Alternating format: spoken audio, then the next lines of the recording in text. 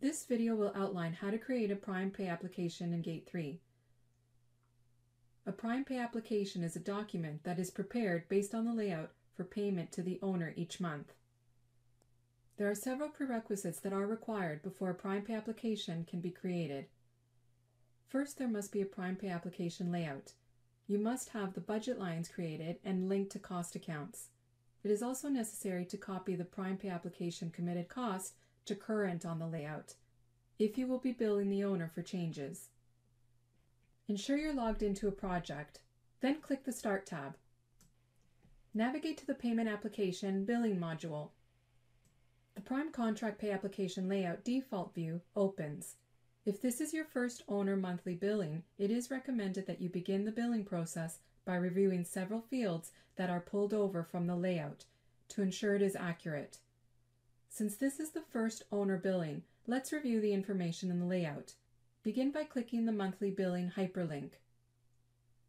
Place the PrimePay application layout document in edit mode. Click the edit icon. Let's begin by reviewing the tax subsection and review that the correct taxes have been selected. If the tax type is incorrect, select the appropriate tax type from the drop-down list. Navigate to the contact section and make sure that at least one contact has been flagged as billing contact yes. The owner must be the same owner as defined in the project profile. Then navigate to the retainage section. Review the retainage percentage and the retainage level is set to total and that the tax retainage release is collected. Navigate to the Pay Application Layout Lines section.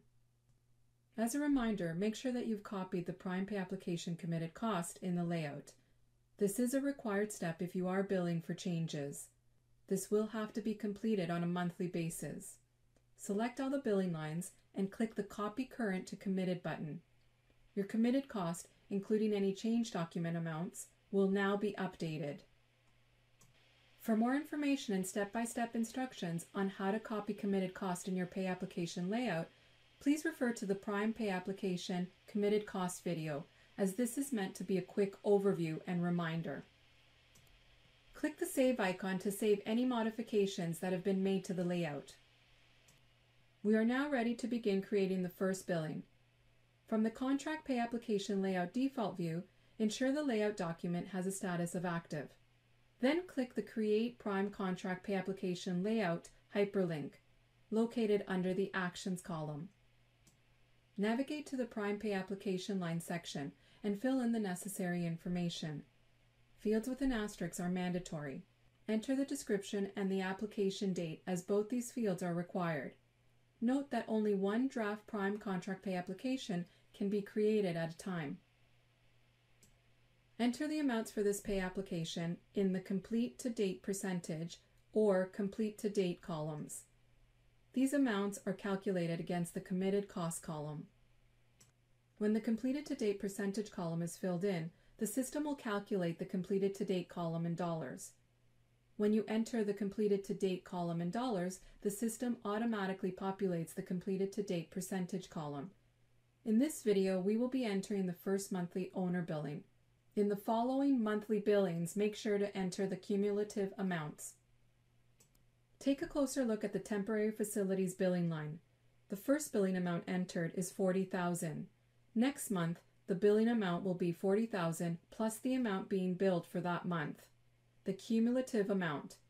Work your way through all the required lines and continue entering the billing amounts. As you move through each billing line, the system will auto-save the pay application as draft. You also have the ability to click on the name of the billing line to view any transactions against it that have been committed against this month. This will be demonstrated by clicking on the Permit Fees billing line. Click on the Prime Pay application subsection to expand the left-hand side navigation panel. Notice the time cards and invoices subsection.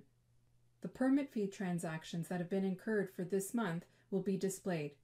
To view associated budget lines, contract pay application lines, time cards, and invoices associated to the selected billing line, scroll down. In this example, there is an invoice. To include the invoice in this month's billing, click the Allocate All option. Notice how the permit fees billing line has increased to 2500 Make sure you review the total this pay app column for all the billing lines with an amount. Once you've completed entering all the billing amounts, click on the Save icon. This will not submit the pay application, but it will generate a pay application number. Since this is the first pay application, the number 1 has been assigned. You may revise and modify a pay application document as many times as you need. You now have a better understanding of how to create a Prime Pay application in Gate 3. The next steps in the billing process is to preview the monthly pay app and then generate the pay app. This concludes the video. Thank you for watching.